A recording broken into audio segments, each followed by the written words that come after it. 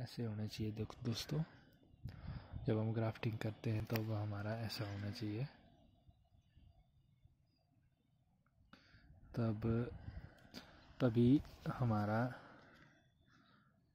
Chances और यहाँ से ऐसे रिमूव करना है। इस तरह से इसको। और फिर हम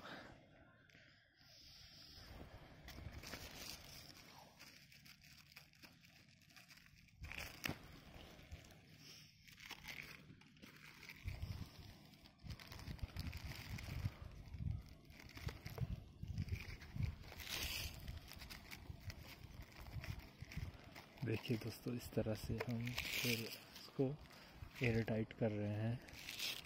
इसमें हमें ये ध्यान देना है कि हमें इसमें हवा नहीं घुसनी चाहिए और तभी हमारे ग्राफ्टिंग के चांसेस 100 परसेंट रहते हैं। अगर इसमें हवा चली गई, तब चांसेस काफ़ी कम हो जाते हैं। Thank you